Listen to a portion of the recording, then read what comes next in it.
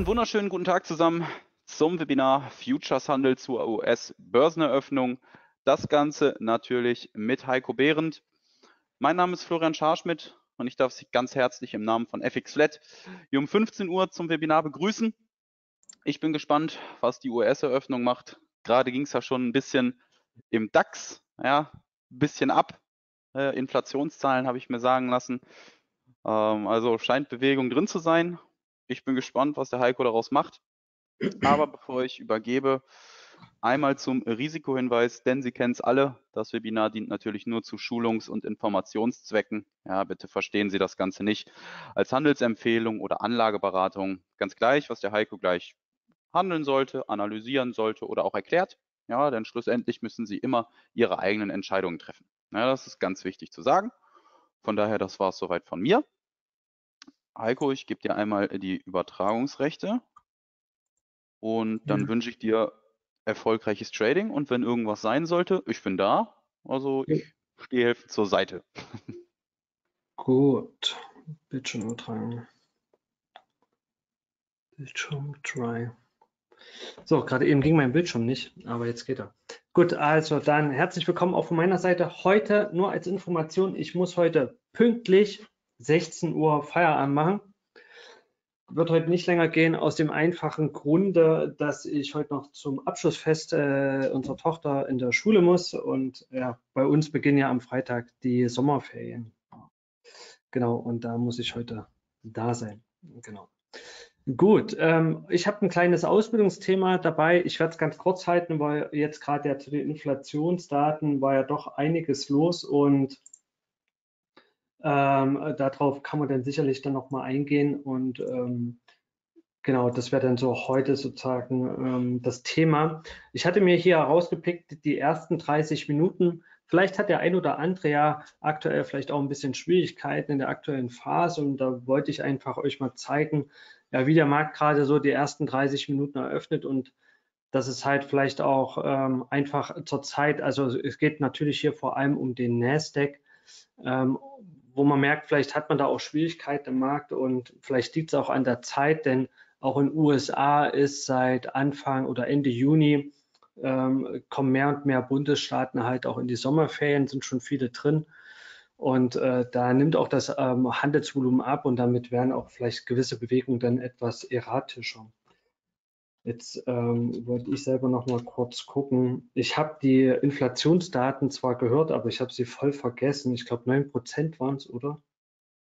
Ich muss noch mal ganz kurz gucken, damit ich hier noch nichts Falsches Ich habe nichts mitbekommen davon. Ich habe nur vorhin zugeworfen bekommen, Inflationsdaten und der DAX ist richtig Ja, also ich, ähm, vielleicht dazu, ich, ich höre die Zahlen ähm, und als ich die Zahl gehört habe, äh, habe ich entsprechend reagiert, aber ähm, ich weiß jetzt nicht, 9,1 doch war es, 9,1 Prozent. Das habe ich jetzt vergessen gehabt, ja. Genau, ich, ich nutze ja vielleicht, ähm, das kann man auch mal zeigen, ähm, ich nutze hier über meine Homepage, ähm, so eine Squawkbox nutze ich dafür. Wenn man auf die Seite skypetrading.de geht, dann ähm, in der Partner äh, Traders Talk und das ist so eine Squawkbox. Das heißt, ich muss nach den Zahlen nicht suchen oder gucken oder irgendwie bei Twitter was aktualisieren, sondern ich kann hier das entsprechend direkt halt hören. Ja, und derjenige sitzt dann da und sagt dann 14.30, 10 Sekunden noch äh, na, und zählt nochmal runter und dann kommt die Zahlen und dann hat er gesagt 9,1 und ich so, what? Dann habe ich auch gehandelt. Aber da kommen wir gleich dazu.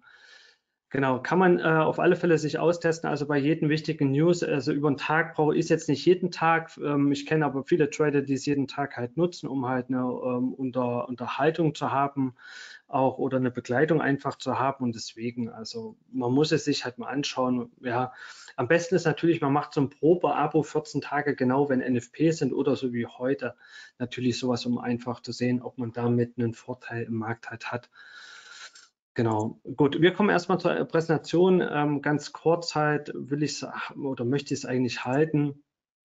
Also ich habe hier mal die letzte Woche und äh, die bisherige Woche hier, ähm, oh, ist doch relativ klein in der Präsentation. Äh, ich habe die Charts, dachte ich, ich äh, erst hatte ich überlegt, beide auf jeweils eine Folie zu machen. Aber hier gibt es hier nicht auch noch eine Lupe. Hier gibt es ja eine Lupe. So. Ah ja, genau. Also ähm, worum es mir halt einfach geht aktuell gerade ist, ähm, ich habe einfach mal markiert, die ersten fünf Minuten, äh, die ersten 30 Minuten nach der Eröffnung, wie da so die 30 Minuten Kerze ausschaut. Ja. Letzte Woche Dienstag. Hier mal als Beispiel, der Markt fällt halt erst nach unten ab der Eröffnung und ähm, also die Kerze in Summe hat eine Länge von 96 Punkte, fällt 63 Punkte nach unten und dann steigt der Markt halt wieder. Und das ist natürlich immer halt äh, schwierig, wenn man vielleicht auf eine Bewegung setzt. Ähm, wo ist mein Zeichenwort?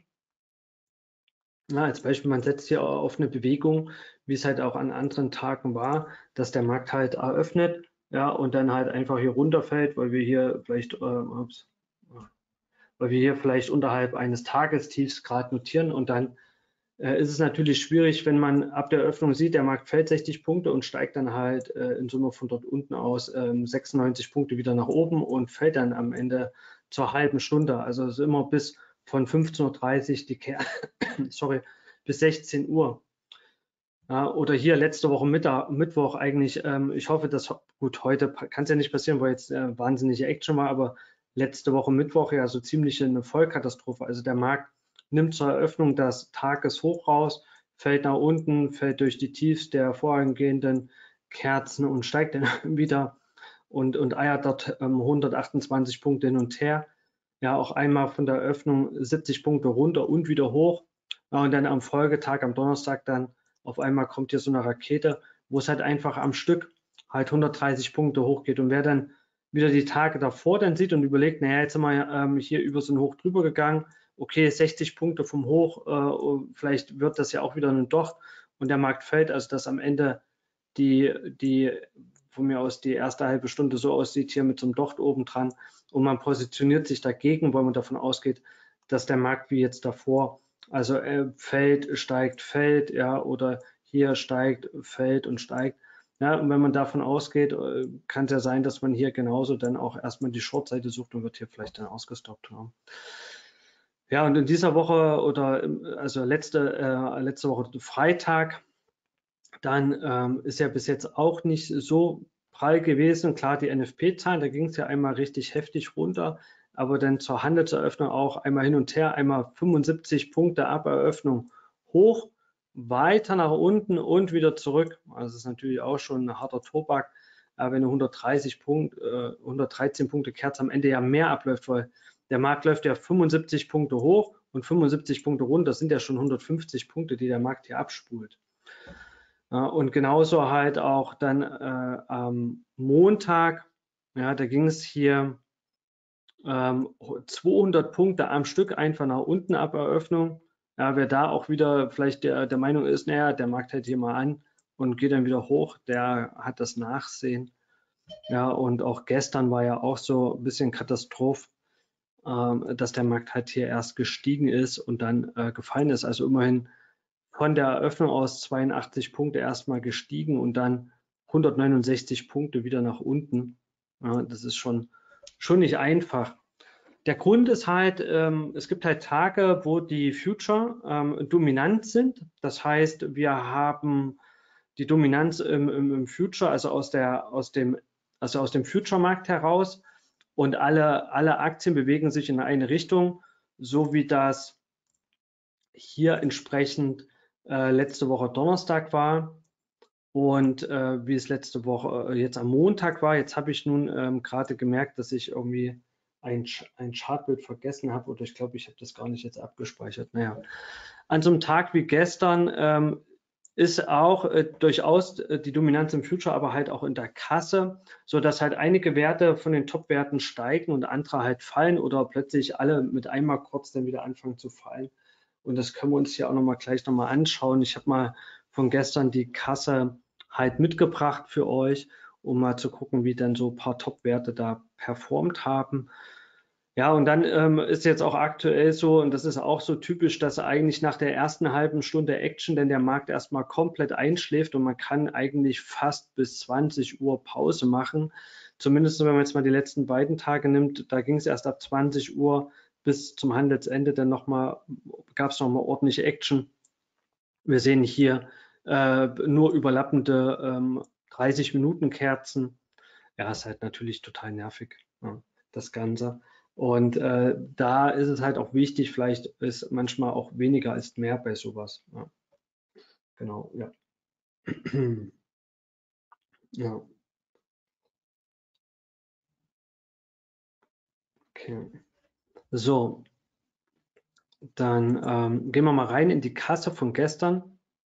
Also da sehen wir mal die Kasse, das sind die Top-Werte. Ähm, Apple hat ja ca. 13 Prozent als Gewichtung und wir sehen, dass die Apple und die Tesla-Aktie vor allem äh, am Anfang mit Amazon ja hier in den ersten Minuten, ich mache mal hier einen blauen, Farbe blau, in den ersten Minuten hier doch ähm, deutlich gestiegen ist. Also die Apple-Aktie nach oben ausgebrochen, dachte ich, okay, alles klar.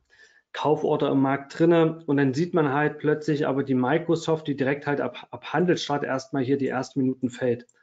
Meine Überlegung ist natürlich dann gewesen, okay, wenn jetzt die Apple-Aktie steigt und von einem Tief aus die Microsoft dann wieder kauft, dann könnte nach einer Seitwärtsbewegung halt äh, der Markt ja dann auch wieder weiter steigen. Aber wir sehen jetzt ja hier, dass Amazon ähm, Amazon, vor allem Tesla und auch die Microsoft, also äh, blau, blaue Linie, grüne Linie und rote Linie dann hier deutlich ähm, Druck drin hatten im Markt.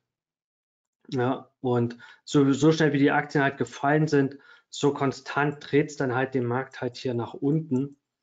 Ja, ähm, bis 16 Uhr das war ja diese, gestern diese Kerze halt einmal 80 Punkte hoch und 169 Punkte dann halt nach unten. Und für mich war es dann halt hilfreich. Also ich habe gestern nicht gehandelt, ich hatte gestern einen emotionalen Tag. Der eine oder andere hat es auf Facebook mitbekommen, ja, dass ja äh, ein Börsenfreund von mir ähm, ähm, verschieden ist und da war ich gestern mit den ganzen Zuschriften und Kondolenz- und, und Beileidsbekundungen ähm, am Ende da schon ziemlich emotional geladen. Deswegen habe ich gestern auch nicht gehandelt. Aber ähm, wenn man das dann halt sieht, ähm, in der Nachbetrachtung sieht man, okay, ähm, wir haben hier ähm, ähm, doch in der Kasse halt den, den, den Druck drin, weil andere Werte, das sieht man jetzt hier nicht, ich habe jetzt nur die wichtigen rausgenommen, dass man einfach sieht, ähm, die anderen Werte sind gar nicht so mitgefallen, ja, sondern halt wirklich diese drei Werte sind halt massiv gefallen. Ja. So und von daher ähm, ist das dann halt ziemlich schwierig, vor allem dann auch, wenn dann jeder Wert so ein bisschen seins macht. Also hier die Apple-Aktie kann sich auch holen, der Rest kommt hier nicht aus der Knete. Ja, dann gibt es halt hier so ein bisschen so eine Aufwärtsstruktur und es ist halt ähm, ähm, schwer zu handeln. Was immer mal wieder interessant ist, ist komischerweise gibt es halt oftmals Einwerte, hier was die Alphabet.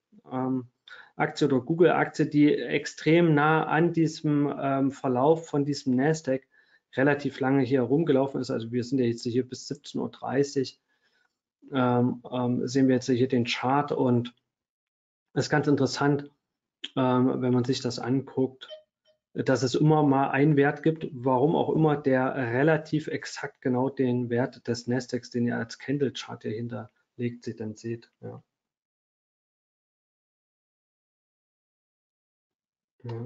so, genau.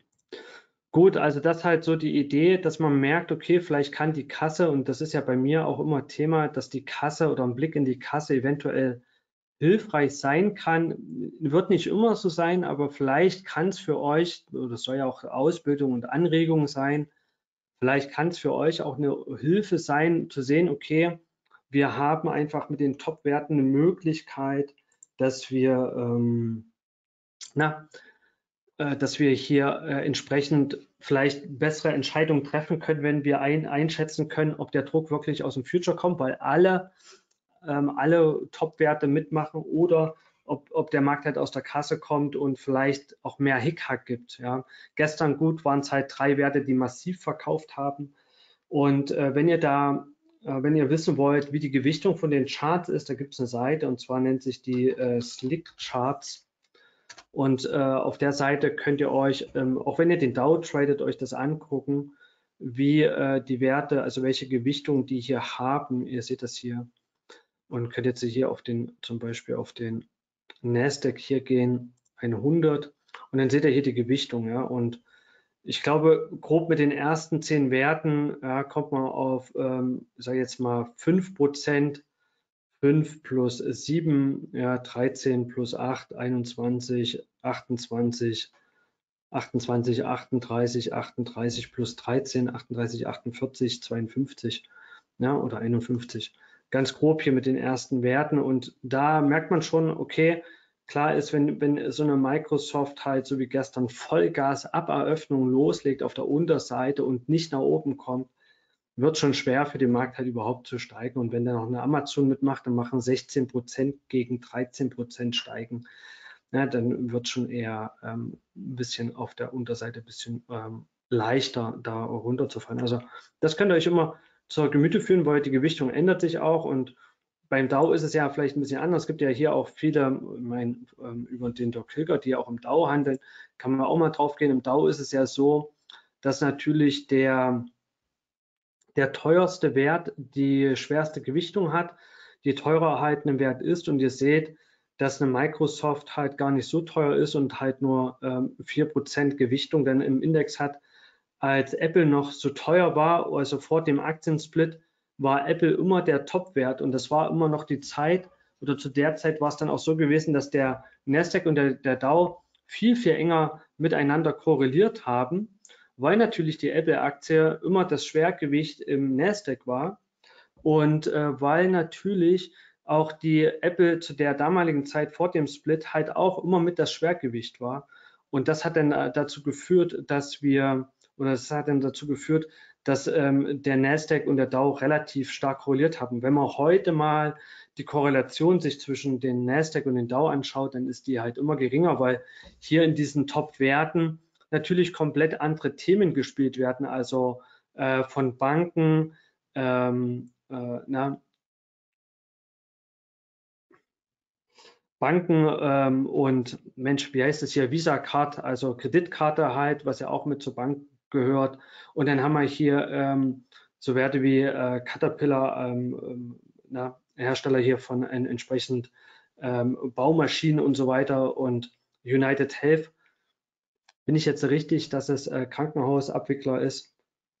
Ich weiß jetzt gar nicht, ob die eigene Krankheit, bin, also wie gesagt, was die genau machen, keine Ahnung, aber das kriegt ja jeder selber raus. Ja. So, und von daher ähm, merkt man dann halt, äh, dass hier, wenn, wenn Tech halt fällt, muss der DAO halt nicht fallen. Ja. Also das nochmal so als Idee einfach mit dazu, vielleicht sich das anzugucken, vielleicht kann es eine Hilfe sein. Ja, und ähm, ich sage jetzt mal, die United Health ähm, wenn man sich auch den Chart hier mal anguckt, ist eigentlich so gerade so ein bisschen der Fels in der Brandung. Die Aktie sieht eigentlich relativ gut hier aus und kann auch im Jahr 22 halt immer noch ähm, ganz gut hier entsprechend ähm, oder läuft immer noch ganz gut. Ja, sehen andere Werte ja viel, viel schlechter aus, auch in 22. Ähm, das ist sozusagen das Ding. Aber wenn das Ding halt abkracht, als Beispiel war auch mal einer der Top-Werte war mal Boeing gewesen. Können wir uns auch mal ganz kurz an. Sind mittlerweile auf Platz 13. Ja, und die Boeing-Aktie hat ja auch mal irgendwie hier, ähm, stellt euch vor, ne, die Boeing-Aktie hat ja hier auch mal 500 Dollar gekostet. 2019, da war es die Platz 1, die Boeing-Aktie. Flug, äh, Fluggesellschaften aus und dadurch durch den Verlust der Aktie äh, im Preis sinkt dann auch die Gewichtung. Ja? Und heute ähm, ist sie von der Wertigkeit auf Platz 13 mit 148 Dollar. Ja? Und wenn die Aktie zum Beispiel ganz doll jetzt nach oben spiken würde, ja, dann würde sie in der Gewichtung wieder hochsteigen. Also das halt, das ist ja das, was viele auch kritisieren am Dow, ähm, dass es halt immer nur nach dem Preis geht. Also die Gewichtung, also wenn ihr euch die Gewichtung im Dow einfach machen wollt, dann nimmt euch einen DAO, also eine, eine Übersichtsseite vom DAO und, und, sortiert den nach Preis und dann wisst ihr, der teuerste Wert hat schwerste Gewicht. That's it. Ja. Ist halt bei den anderen Indizes und auch im DAX ähm, nicht entsprechend anders. Oder ist dort anders, genau. Gut, das nochmal zu der Seite, also slickcharts.com, einfach abspeichern, dann habt ihr das. So, jetzt haben wir es äh, 21.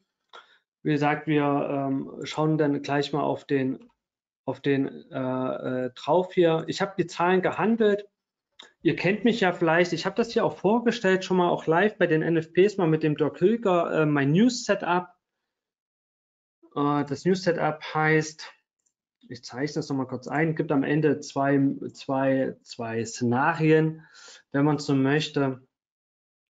Ähm, wir haben, wir merken uns ganz grob, wo, äh, wo hat die Aktie um 14.03 Uhr, äh, die Aktie, wo hat der Index, den wir handeln wollen, um 14.30 Uhr, wo stand er entsprechend? Ja, ich zeichne mal hier einen geraden Strich durch.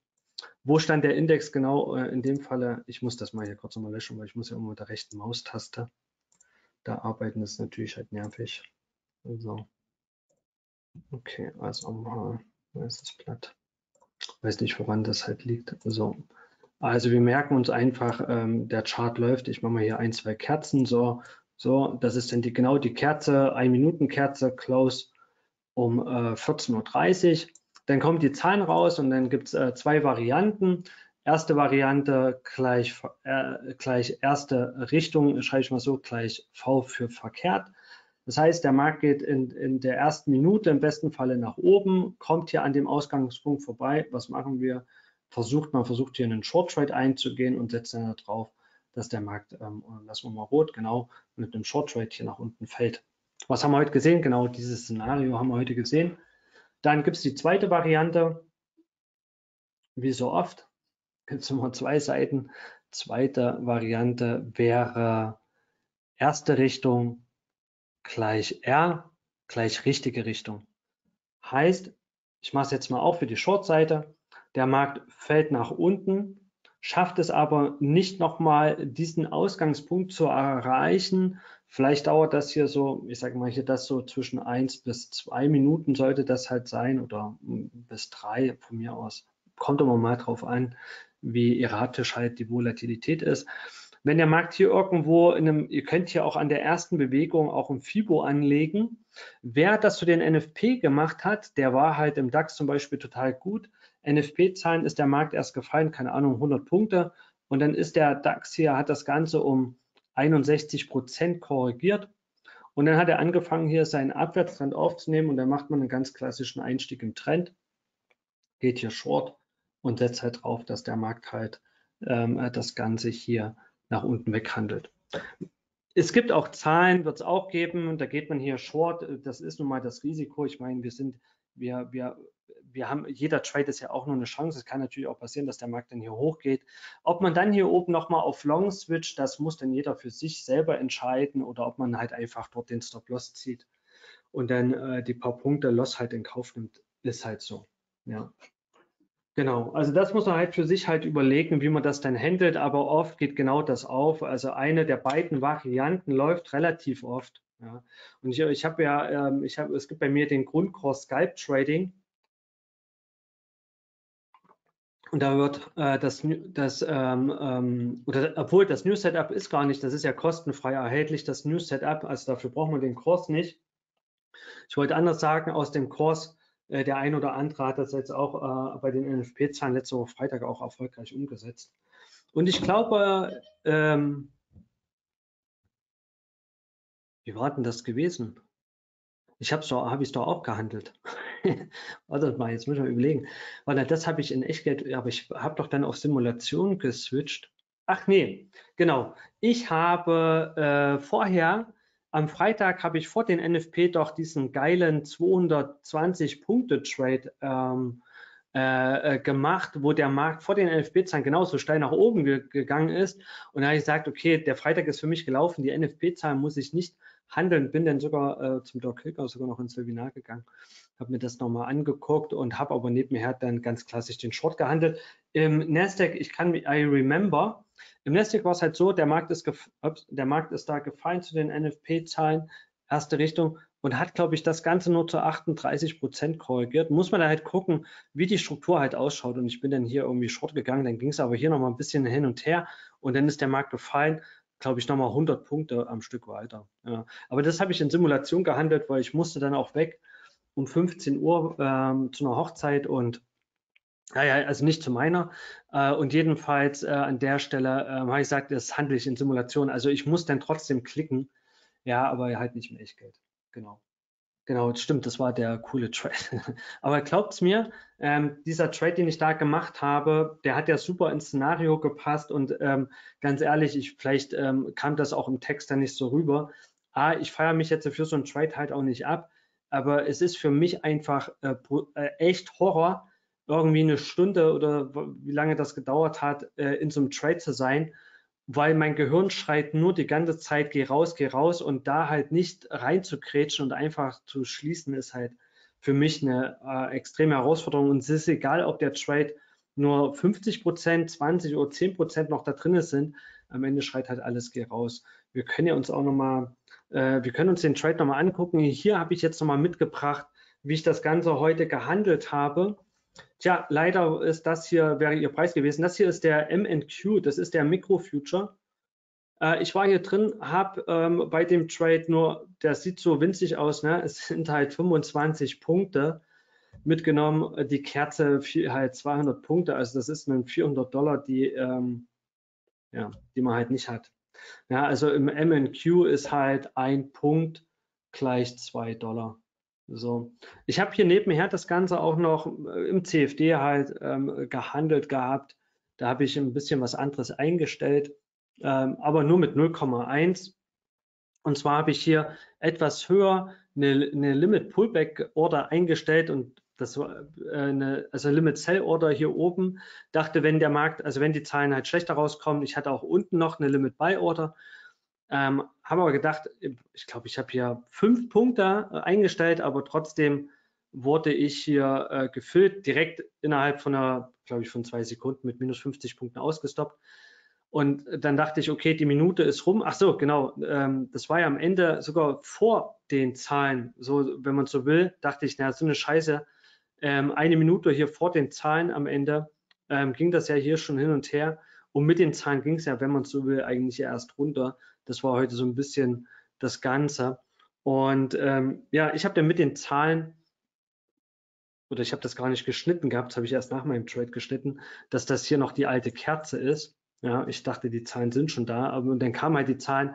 Das ist hier, das ist hier alles, ich sage mal so, das sieht jetzt aus wie eine Minute, aber es sind am Ende, ist das hier wahrscheinlich eine, Ab, eine Abfolge von so zehn Sekunden, also die letzten zehn Sekunden ähm, bevor die Zahlen kamen, schnippte das so hoch und danach habe ich gedacht, okay, ähm, wieder rein und habe einmal mit, mit ja, sind das hier wirklich 156 Punkte? Ja, wahrscheinlich, aber ich habe nur einmal, einmal geklickt. Naja, können wir gleich nochmal gucken. Ja, es sind 156 Punkte, genau, weil es waren 15 Euro oder 15 Dollar. Und dann bin ich hier unten nochmal eingestiegen und ähm, ja, in, ganz ehrlich, ich habe mich im, im Mini-Future oder Micro-Future nicht getraut, hier nochmal zu klicken. Ich habe hier auch einmal geklickt, aber da weiß ich nicht, was da los war. Ich habe kein Fill bekommen. Vielleicht war der Spread zu groß oder ähm, ähm, der Datenfeed lief nicht richtig. Also das weiß ich nicht, warum ich. Also ich habe nur einmal geklickt, aber ähm, da ist nichts passiert. Da hat der Markt, hat das hier einmal rumgerödelt und da habe ich keinen Fill bekommen. Da weiß ich nicht, woran es lag.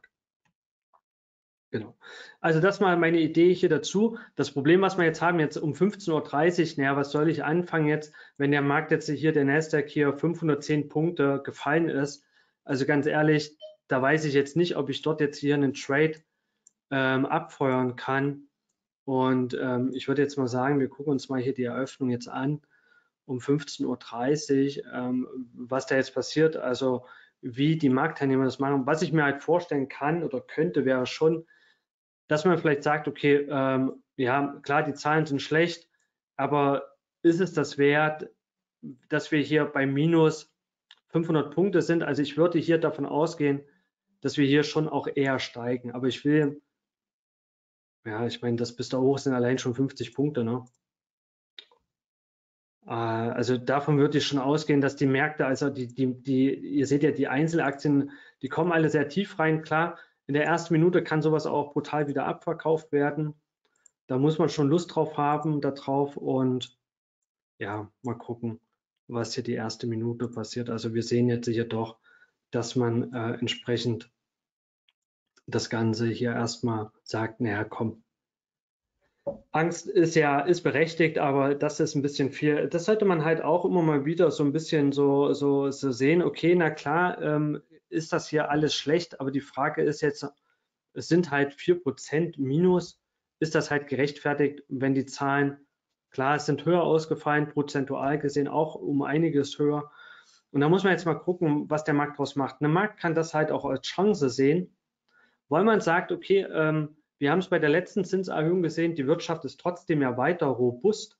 Ja, also obwohl die Notenbank ja auch schon signalisiert hat, dass sie mehr erhöht als erwartet, vielleicht mehr Zinsanhebung gibt als erwartet und trotzdem gab es ja letzte Woche Freitag mit den NFP-Zahlen ja wieder einen starken Arbeitsmarkt. Also das heißt, ähm, die Wirtschaft so gesehen läuft ja in den USA weiterhin heiß. Und das kann natürlich schon auch dazu führen, dass man sagt, ja, vielleicht, also hier die 500 Punkte Abschlag, okay, aber vielleicht ein bisschen too much. Ich habe äh, vorher im Nasdaq habe ich Levels eingezeichnet, die kann ich euch mal zeigen. Ich habe ja äh, so ein bisschen hier auch das Trading ähm, ab und zu so ein bisschen umgestellt. Und das Interessante ist, gehen wir hier auf den 5-Minuten-Chart. Das Interessante ist hier, dass wir, ähm, dass wir hier die ähm, Levels alle vorher schon abgehandelt haben. Wo ist jetzt das eine Level hin?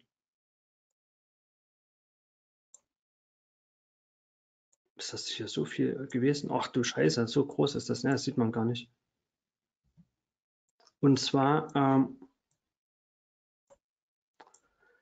haben wir ähm, hier einen, das sieht man gar nicht so, weil jetzt hier die Kerzen so lang sind. Also hier sieht man jetzt zwei Levels, wo der Markt hier ganz gut reagiert hat. Und zwar einmal hier. Und da die, die Beginn dieser Linien zeigt, wo ich das ähm, Level dann ähm, eingezeichnet habe. Und hier oben das Level fand ich auch ganz interessant, habe ich irgendwann zur Mittagszeit.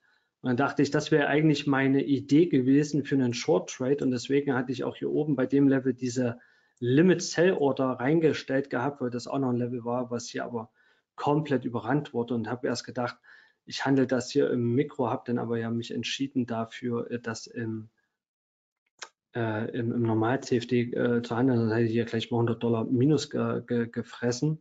Und wie gesagt, mein Trade war ja dann hier unten. Genau. Ja, also ich weiß jetzt nicht, ob ich hier einen Trade äh, abgefeuert kriege. Ja.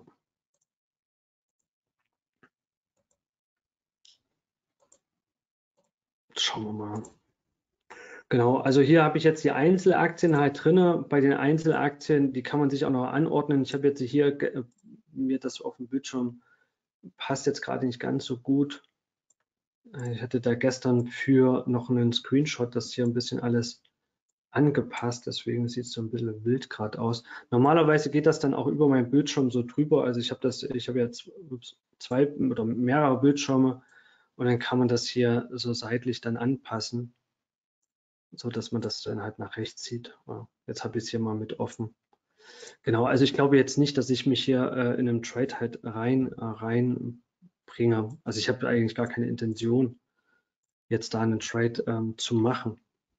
Ja, Gerade. Also ich glaube, ich würde hier, und das äh, würde ich jetzt auch, wie gesagt, für mich dann auch so im, im Kopf, nach so einer, es ist halt so, nach so einer hohen Wohler-Phase oder nach diesen Zahlen ist halt einfach so, Klar, man kann sagen, es gibt eine Erholung, aber die Wohlerheit ist halt auch relativ hoch, sodass man halt hier für sich dann halt überlegen muss, ähm, kann ich denn jetzt hier entsprechend, ähm, ja, kann ich jetzt hier entsprechend ähm, äh, äh, einen guten Trade halt ähm, ab, ähm, absetzen, wenn jetzt der Markt ja hier erstmal völlig kopflos ist und sich fragt, was war das, so Zahlen, was fangen wir damit an?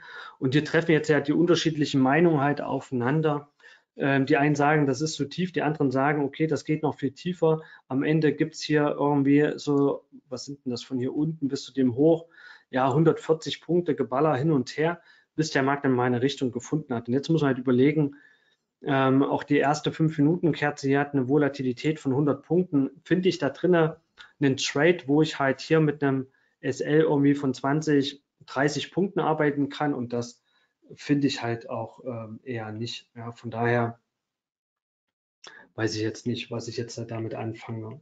Ja, mit dieser. Und ich würde ganz ehrlich auch sagen, ich, ich habe mir heute gar keinen Kaffee gemacht. Ähm, ich würde hier wirklich die erste halbe Stunde an mir vorbeiziehen lassen und würde halt an der Stelle auch sagen, äh, ja, das ist halt so. Ähm, da warte ich jetzt erstmal ab, bis der Markt sich findet. Ja. Wir können hier nochmal runtergehen in den 1-Minuten-Chart und können hier nochmal gucken, ob man, ob man da was sieht. Ja, und ihr seht aber hier jetzt auch die 1-Minuten-Kerzen haben alle ja, 40 Punkte, 50 Punkte. Sicherlich, wenn man da Lust drauf hat, findet man vielleicht einen Trade, aber der, die ersten 15 Minuten würde ich auf alle Fälle den Markt jetzt hier abwackeln lassen. Ja. Genau. Also von daher ähm, warten wir da mal ab. Was jetzt hier passiert oftmals ist, ähm, dass man jetzt, äh, ja, wir werden beide Seiten hier sehen. Ja, ähm, wir sehen jetzt hier auch zum Beispiel den unterschiedlichen Verlauf wieder. Die Apple-Aktie versucht ähm, oder kommt hier an das Tagestief von äh, ans Tagestief von, vom Vortag dran. Das ist aber das Tagestief von vor zwei Tagen. Hey. Das Tagestief von gestern, warum ist das? Herr Indikator, was zeigen Sie hier an? Ich habe mich gerade schon gewundert. Also hier passt gerade was nicht. Also normalerweise zeigt er mir das Tagestief vom Vortag an und jetzt zeigt er mir das von vor zwei Tagen an. Aber trotzdem versucht hier der Markt halt zu steigen. Hingegen seht ihr hier unten die Google, die halt hier direkt wegläuft. Ähm, und machen wir hier unten noch die Nvidia an, die auch direkt vom Start aus erstmal so ein bisschen weglaufen. Genau. Ähm, was, man, was man halt nicht machen sollte, man sollte jetzt hier nicht anfangen, jeder, jede Kerze, äh, jede einzelne Aktie zu analysieren, weil da, da, da kauft man dann auch nicht vom Fleck. Es geht darum, um die Allgemeinheit, sich zu überlegen, ob man hier ähm, äh, einfach sieht, dass die, der Markt halt gleichgewichtet läuft. Da gibt es halt auch, ähm, mal gucken, ich hole das mal her, gibt es auch eine Möglichkeit, ähm, ich glaube, man kann es for free sehen. Ich muss es mal kurz gucken.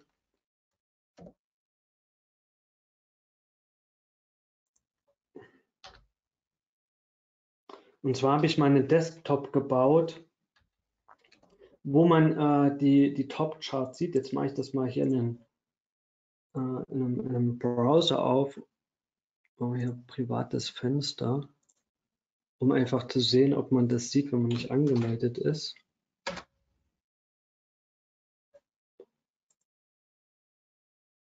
Nee, das sieht man nicht. Muss ich mal kurz. Na, schade, ich dachte, das sieht man. Das sieht man hier den Desktop. Vielleicht muss ich das auch nochmal freigeben. Das sieht man auch nicht. Wenn ich mir noch den Chart angucken, wahrscheinlich sieht man es jetzt nur noch. Also früher konnte man das halt auch sehen, wenn man nicht angemeldet war. Wir gucken mal bei dem hier. Aber da wurde jetzt ein, ja, das sieht man. Ja, da muss ich schon mal gucken. Ja, da sieht man jetzt hier, wenn man hier dann einmal auf, auf Intraday geht, dann sieht man hier im Vollbild jetzt alle Aktien, äh, wie die jetzt hier so sind. Vielleicht habe ich das auch nicht, noch nicht freigegeben gehabt oder die, die Freigabe ist wieder weg. Ja, und wenn man dann sieht, wie einzelne Werte halt, ähm, die schwergewichtet sind, ähm, ähm stark steigen oder fallen, kann man halt immer mal was äh, absehen. Und ihr seht da natürlich um 14.30 Uhr, da machen alle Werte den Knick, weil natürlich da die Action aus dem Future herauskommt. Ne? weil der Future halt logischerweise dann das dominante Instrument halt ist, was da dann ähm, schnell für diese Verkäufe sorgt. Ja, und da, darum geht es halt so ein bisschen. Ja, und das kann man sich hier, also das ist für den DAX, das muss ich hier auch aktualisieren, weil sich hier die ähm, Zuständigkeiten, also die Gewichtung geändert haben. Aber ich kopiere es ja einfach mal bei den Nachrichten rein in den Chat. Dann habt ihr mal den Desktop. Ich kopiere euch auch mal den anderen rein von dem Nasdaq. Weil wenn ich den freigegeben habe, dann könnt ihr das ja auch machen. Ja. Dann habt ihr das auch. Einfach mal abspeichern. Muss ich halt nochmal in Ruhe gucken. Genau. Okay. So, jetzt sind wir hier die Erholung.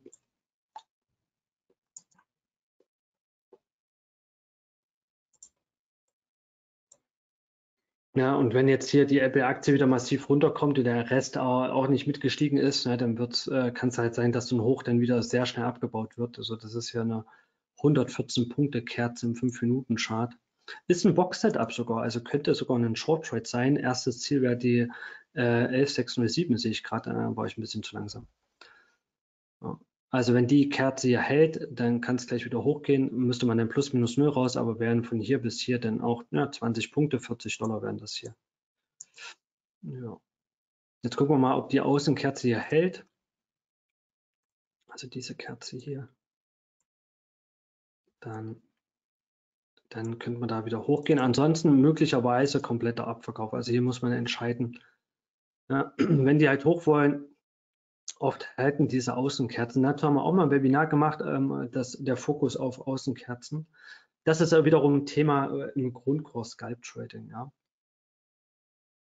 Genau, aber es gibt ja noch eine größere Außenkerze, nämlich jetzt hier die 5 Minuten Außenkerze. Ja, also von daher muss man jetzt ja gucken, ähm, welche man, wie man das übergewichtet, aber eine 1 Minuten Kerze kann man nicht immer übergewichten. Ja. Manchmal ist dann auch die 5 Minuten Kerze eher dominant. Dann kommt gerade noch eine Frage rein. Hallo Heiko, wie kann man im MT4 Stereo Trader nebst dem 1 Minuten die 5 Minuten gleichzeitig einblenden? Dafür auf ähm, äh, Installationsmanager gehen im MetaTrader 4. Äh, es ist hier zwar der 5er, aber dann äh, da drauf gehen und dann sich hier das X-Frame-Tool runterladen und das dann in den Chart reinziehen. Das heißt dann auch so findet man dann unter Stereo Trader Indikatoren das X-Frame und dann kann man sich das hier einstellen ähm, bei YouTube mal nach X-Frame, so wie es da steht, auch mal äh, suchen. Da findet ihr auch eine Erklärung zu den Einstellungen nochmal von mir. Genau. Ja, also wir sehen also Außenkerze super gehalten. Also der, das Box-Setup Short wäre aufgegangen mit irgendwie ja bis fünf Punkte plus vielleicht. Ja, bei dieser Volatilität hier muss man natürlich schnell sein aktuell. Und die Außenkerze hat hier ganz gut gehalten just in der Sekunde. Ja, also das ist mir fürs Webinar ja ein bisschen too much gerade. Dann, was wollte ich noch?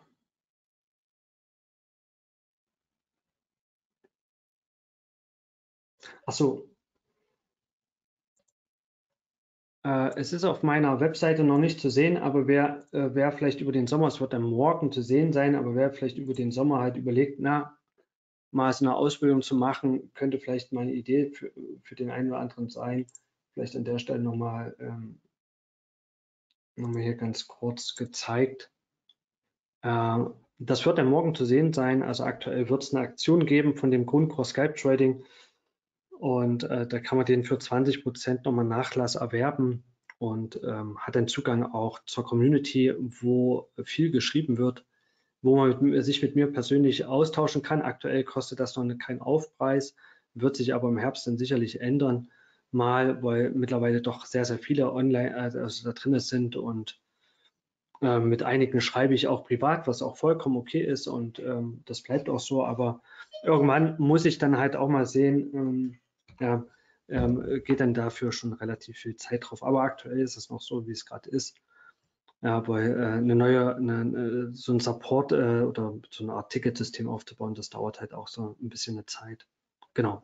Also das ist so die Idee. Wer, wer sich für den Grundkurs interessiert, findet da morgen auf meiner Homepage und dann kriegt er auch den, äh, findet da auch den Link dazu, wo es dann auch hingeht, betreff ähm, äh, der ganzen ähm, Inhalte. Ne? Kann man sich das ja mal durchlesen.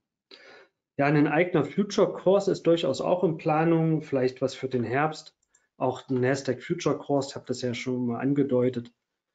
Ja, könnte vielleicht dann auch nochmal kommen. Also wenn es den gibt, wäre natürlich, ist noch, noch wesentlich passender, wäre das natürlich dann hier auch für diese Webinarreihe. Genau, müssen wir mal sehen. Also äh, dauert ja alles seine Zeit. Ja. Gesagt ist es schnell, gemacht dauert halt. Ja. Gut, ja, also Markt in der 5-Minuten-Kerze einmal ähm, 40 Punkte runter, 45 Punkte oder ja, 50 Punkte runter, 50 Punkte hoch und am Ende der 5 Minuten Kerze doch wieder 50 Punkte runter. Ja, jetzt geht die neue los. Also hier sieht man, ähm, so eine einheitliche Richtung gibt es noch nicht und der Markt sucht hier nach Orientierung. Ja.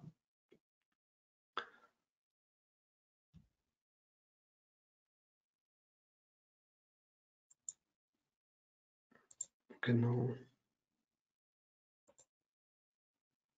Ja, hier nochmal ähm, ja, 35 Euro waren das hier gewesen. War der Gewinn. Ja, was ich jetzt noch gemacht habe, vielleicht für die, die da auch Probleme haben, ähm, immer die Auszahlungen, die hier direkt abgezogen werden, die buche ich mir jetzt immer wieder ein, damit zumindest dem Konto halt nicht die Liquidität äh, entzogen wird. Und ich hoffe jetzt mal einfach, dass man da vielleicht dann Ende des Jahres wieder, und ich hoffe auch mal für den ganzen Aufwand, den auch FXLet dafür betreiben muss, ja, oder auch andere Broker, die hier im Inland sitzen, dass da einfach das Ganze dann wieder vielleicht ähm, zurückgerudert wird und man diesen ganzen Quark sich ersparen kann. Das ist schon echt nervig. Aber ich glaube, das ist eine gute Lösung zu sagen, am Ende des Monats, das, was hier an Auszahlung, also an Liquidität rausgeht, das zahlt man sich wieder ein, sonst schrumpft ja das Konto, weil ja nur die, nur die, äh, die Gewinne ja gleich besteuert werden. Und am Ende des Jahres weiß man aber, wenn man seine Einzahlung gemacht hat, was man ja auch dagegen rechnen kann und der dann auch wieder bekommt. Ja.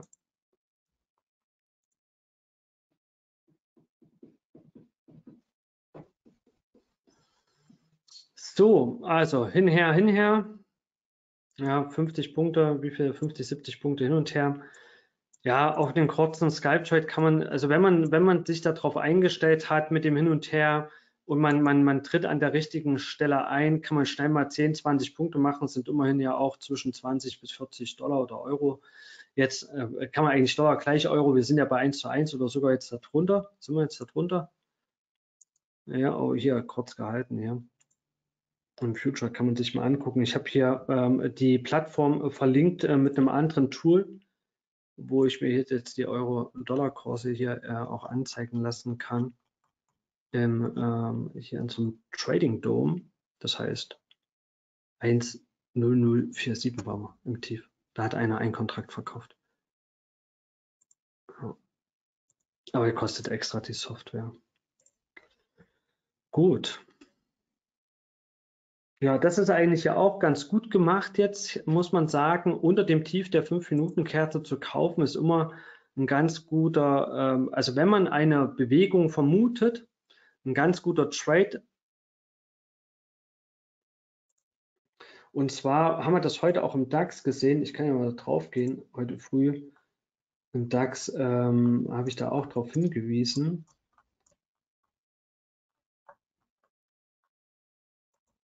Jetzt muss ich mal schnell hier. Oh, ja, irgendwie. Ich glaube, hier bei meiner Maus ist irgendein Rad weggebrochen. Das rattert nicht mehr so. Ich will mal schnell den, den Chart dazu passend. Ah ja, genau hier. So. Also hier sieht man es auch, wenn man so eine Kauforder halt im Markt vermutet. Und das hat man auch, das ist auch ein Thema, was wir hier schon auch mal bei FX Flat auch hatten im Webinar. Ja, immer dieses unter dem Tief halt gucken, ob der Markt dann von dort aus steigen kann. Und das sieht man dann halt oft, dass dann unter dem Tief einer 5-Minuten-Kerze der Markt dann halt so nach oben driftet. Also hier, das Tief wird rausgenommen und der Markt geht hier rein und dann hier direkt ab dafür. Ja. Genau, ging dann nochmal ein bisschen an das Hoch. Das war, glaube ich, dann erstmal Ende Gelände oder ich, ah nee, genau, lief dann genau bis Kerze ohne Docht hier oben ist auch ein Thema, haben wir auch schon einer der Webinare hier bei FX Flat behandelt. Kerze ohne Docht und Lunte. Ja, als Reaktionsmarke haben wir auch schon behandelt. Ja, ich glaube, ich habe hier mittlerweile relativ viele Präsentationen. So, jetzt mal gucken hier, ob wieder das Box-Setup hier läuft. Und da auch vor allem bei sowas aufpassen. Mit der nächsten Kerze wäre es short drin, aber hier würde ich auch wieder aufpassen, was passiert mit der Außenkerze, wenn die nicht gut rausgenommen werden kann da muss man sich auf dem Weg dahin dann schon direkt verabschieden.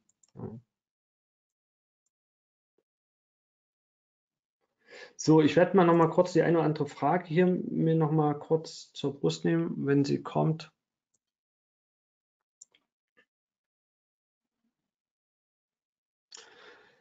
Ja, ansonsten, wie gesagt, geht es jetzt darum, keine Ahnung, wie weit die das hier korrigieren wollen.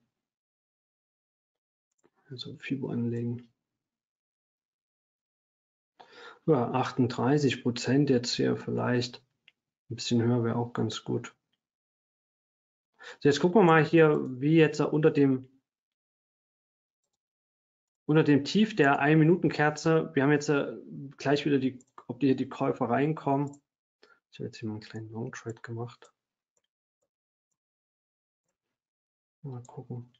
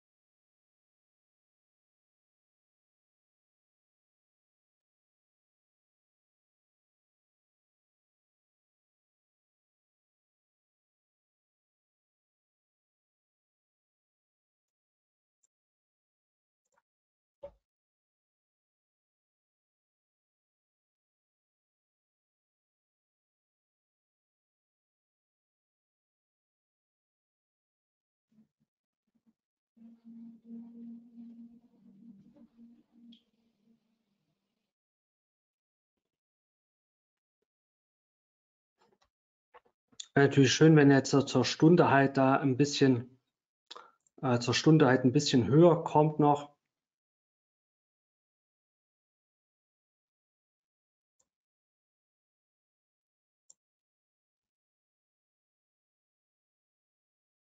Ja, das war zu hoch. War.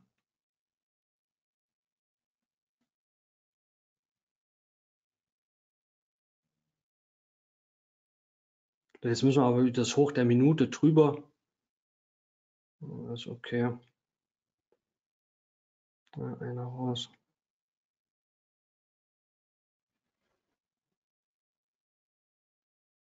Mal gucken, ob wir hier zum Ende der Minute mitkommen. Mal raus.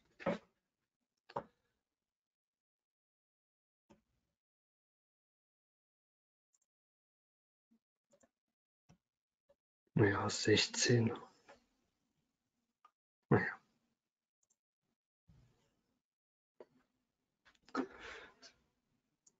Ja, man sieht, wie gesagt, bei der Vola, wenn es nicht direkt loszieht, nicht so schön. Wenn dann mal einmal der Push durchgeht, wenn man, also ich würde das immer so schnell handeln, also ein bis drei Kontrakte, wobei, wie gesagt, bei eins bis drei ist es schon so, man muss hier bereit sein, da 200, 300 Dollar hier pro Trade schon zu riskieren. Ja, und, ähm, und, und man sieht jetzt hier der Trade, wenn der jetzt hier nicht direkt losläuft ne, und wieder hier runter, also von hier oben, wenn man jetzt nicht ausgestiegen wäre, zack, sind wir wieder 30 Punkte hinten, sind schon wieder 60 Dollar, bei zwei Kontrakten 120 Dollar, wenn man da einen doofen Einstieg hat. Ja. Also sieht man schon, da muss man auch bereit sein. Ne? An, ansonsten, wie gesagt, handelt das ähm, ähm, hier im CFD-Bereich und da könnte ja auch in der Positionsgröße deutlich runtergehen. Ja.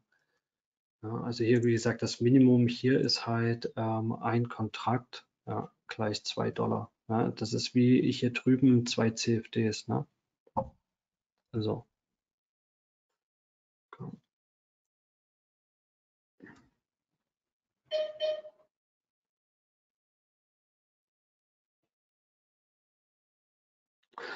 Gut, achso ja, ich wollte noch mal schnell in die Fragen reingucken. Wir haben noch fünf Minuten. Wie gesagt, ich muss pünktlichst los, äh, leider Gottes heute.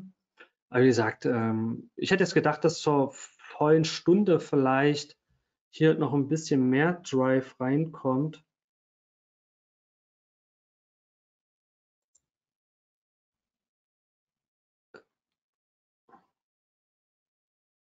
Was ist das? Wir müssen jetzt in meine NQ-Chart.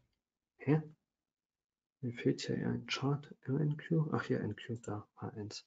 Genau. So, hätte jetzt vielleicht gedacht, dass wir hier in Richtung ah, noch ein Stück höher gehen, aber will er nicht. Also das könnte man sich schon vorstellen, vielleicht als, als Scheitelpunkt hier der Bereich, dass der Markt, wenn der hier das Tagestief von gestern nicht kauft, ähm, dass wir hier dann vielleicht auch darunter bleiben und dann nochmal vielleicht tiefer gehen.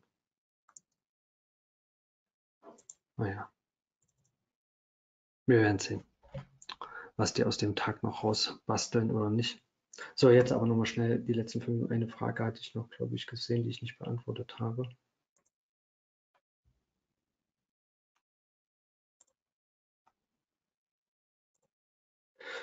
Das Box-Setup ist ähm, relativ, naja, äh, einfach ist es jetzt nicht erklärt, aber gibt es auch ein Video dazu.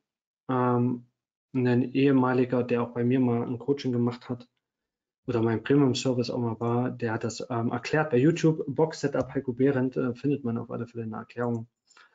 Ähm, es ist die Kombination aus einer 1 und 5 Minuten Chart, deswegen gibt es auch das X-Frame. Ich mache es mal, wie ich es jetzt hier mit der, mit der Short-Seite gehandelt habe. Also wir haben eine 5-Minuten-Kerze, die sieht so aus und hat vielleicht noch ein Bibbel. Das heißt, die letzte äh, Minute könnte so ausgesehen haben, vielleicht, dass die Kerze so schließt und in der eventuell in der letzten fünf Minuten Kerze das Hoch auch gebildet hat. Ja.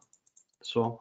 Und jetzt sollte die, am besten sollte die neue, die, beginnt die neue 5-Minuten-Kerze und da sollte für das Box-Setup die erste Minute so ausschauen, ja, der Markt würde jetzt hier eröffnen, die, die neue Minute geht hoch, über das Hoch der 5-Minuten-Kerze und am besten unter dem Tief dann zu schließen. So. Und dann würde man hier unten Short gehen und würde darauf setzen, dass der Markt dann hier, ich zeichne es jetzt mal hier, eine Minute, zwei, drei, vier, fünf, das Tief hier erreicht. Ja, und dann würden die beiden 5-Minuten-Kerzen nochmal zusammengezeichnet so ausschauen. Wir hätten dann eine 5-Minuten-Kerze so, die halt so aussehen würde. Und die Folgekerze würde so aussehen. Das heißt, wir hätten dann hier so eine Kerze, eventuell, wenn es so ist, und dann hier oben so hoch. So, und das heißt, man hätte hier die Hochs rausgeholt und wer über so ein Hoch dann im 5-Minuten-Chart long geht, ja, der wird dann manchmal am Tief dann ausgestoppt und das wäre dann das Box-Setup. Genau. Ja, jetzt wir hier nochmal kurz in den reingehen. Gab es hier hm, so richtig schön ist eigentlich nicht. Guck mal hier gerade schnell auf meinem Rechner, wenn ich da mal schnell die Suche bemühe, vielleicht nochmal Box. Box Setup. Mal gucken hier, wenn wir ein paar Bilder. Ja, genau. Hier ist zum Beispiel so ein Box Setup. Ähm, da seht ihr, der Markt schießt relativ weit oben, neue Kerze macht neues hoch, fällt runter und dann sollte der Markt bis ans Ziel laufen, macht er dann auch. So, mal gucken hier, was wir hier noch für Bilder haben.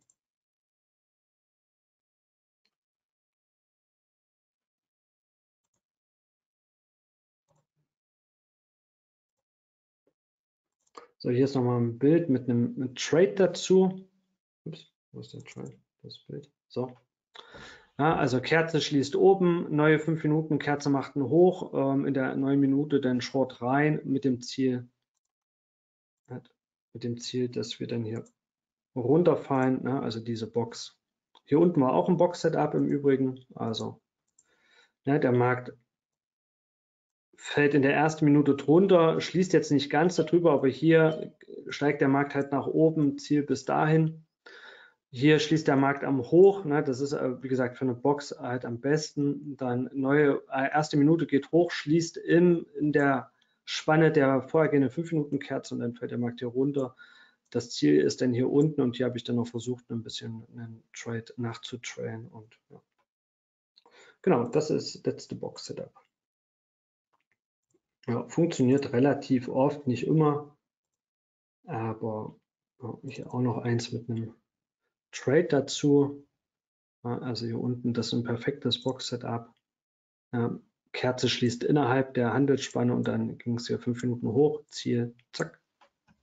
und vor allem, wenn ihr halt einen 5-Minuten-Chart euch anguckt, wenn wir uns jetzt hier auch, das ist jetzt das passiert, was auch immer mal passiert, das hier im Webinar, das stehen bleibt. Ähm, wenn wir uns das hier anschauen, nochmal vielleicht hier im 5-Minuten-Chart. So, vor allem, wenn man halt so Kerzen halt hat, im 5-Minuten-Chart, die, die ständig halt über- und unterschreiten, ähm, findet man da sicherlich ähm, immer mal wieder interessante äh, Setups. Also nicht immer, aber immer mal. Ja. Es muss halt am besten aussehen wie eine Box, also irgendwie eine volle Kerze. Ich gucke hier gerade, wie gesagt, jetzt hier auf die Schnelle sind, zu, sind die Docht und Lunden halt viel, viel zu lang. Ja, eher, eher keins bis gar keins. Moment nicht. Schön, ne? Also im DAX funktioniert meines Erachtens immer mal ein bisschen besser als jetzt hier. Im Nasdaq ist eher seltener. Sehe jetzt gerade kein schönes. Ah, hier wäre vielleicht eins, was so passt. Ja, also hier rausgenommen und bis ans Hoch. Ne? Da muss man natürlich gucken. Ich weiß jetzt nicht, ob es in der ersten Minute passiert ist. Ja. ja also das wäre hier so ein Box-Setup. Ja, viele, viele, die auch nicht aufgehen, das sieht man halt nicht. Ja, es kann ja auch bei einem Box-Setup so laufen, dass der Markt ähm, manchmal der Fehler oder dass das, wenn es nicht gut läuft, äh, sagen wir hier, das ist die Box. Kerze schließt halt oben die letzte Minute, so in, in einem Trend vor allem habt ihr das. Die nachfolgende Kerze schließt dann so und die nächste Minute sieht dann so aus und dann sieht man das Box-Setup schon gar nicht. Die nächste Minute schließt dann so, hat aber hier uns in das Box-Setup reingeführt. So. Das heißt, man ist jetzt hier dann per Trigger dann Short äh, an einem Trend sehr oft zu sehen, dass dann unter einem Tief denn der Markt, das muss man halt dann gucken. Also gibt ja gewisse Voraussetzungen, die der Markt halt von der Struktur erfüllen sollte, dass das halt funktioniert. So, wir haben 16.02 Uhr, ihr Lieben. Ich verabschiede mich jetzt in die Sommerpause, drei Wochen Urlaub. Das heißt, ich werde auch nicht zugegen sein ähm, in der Stereo Trader Gruppe. Mein erster Arbeitstag ist der 8.8. Und äh, dann bin ich schon am Mittwoch, dem 10.8., nämlich wieder mit FX Flat hier am Start und dann mal sehen, was dann an dem Tag passiert. Und äh, ja, vielleicht gibt es dann nochmal einen Trade. Wie gesagt, jetzt hier einen kleinen Trade habe ich ja absetzen können. War jetzt, jetzt auch kein Highlight, aber der Markt ist ja hier auch gerade relativ wild hin und her und von daher ja, bin ich ganz froh, dass ich jetzt hier mich nicht irgendwie verleiten lassen habe im Großen und Ganzen. Achtet mal für die Aufwärtsbewegung so ein bisschen im 5-Minuten-Chart auf die Außenkerzen und mal gucken, wie sich der Markt hier hocharbeiten kann. Ihr seht die ja hier. Wir haben hier die Außenkerze und hier die Außenkerze. Und ja, wenn die halten können, vielleicht dreht der Markt hier noch ein bisschen höher, um nochmal hier an die Tiefs ranzukommen, wo auch immer die lagen. Und dann vielleicht gibt es da nochmal einen Drive auf der Unterseite. Ja, freut mich, dass doch alle oder fast alle da geblieben sind. Und ähm, ja, vielen Dank auch für die Fragen. Genau, hier hat jemand gerade noch den Link reingestellt zu dem, zu dem Video. Ich kopiere mal den Link noch rein, wo die Erklärung ist. Ähm, vom Florian ist das. Dann habt ihr das Video auch. So, vielen Dank erstmal dafür, für den Tom. Ja, genau. So, dann ja, vielen Dank für euer Feedback dazu und ja, ich freue mich dann wieder ähm, mit am Start zu sein, dann ab 10.8. dann zumindest ähm, hier bei FX Flat und ja, vielen Dank, dass ich hier auch immer wieder sozusagen ein bisschen Wissen äh, streuen kann und ja, wenn es euch interessiert, wie gesagt, findet ihr ja auch dann ab morgen noch eine Werbung, falls euch das Thema ähm, Grundkurs Skype Trading euch interessiert. Und ich gebe an der Stelle nochmal zurück zu FX Flat und ähm, wünsche euch eine schöne Zeit. Bis dahin. Ciao, ciao, euer Heiko. Ich danke dir, Heiko. Genau, 10.8. ist wieder Futures Handel zur Erstbörseneröffnung, wieder mit dem Heiko. Und ähm, dann ist, hoffe ich natürlich, viele von Ihnen auch wieder live dabei zu sehen.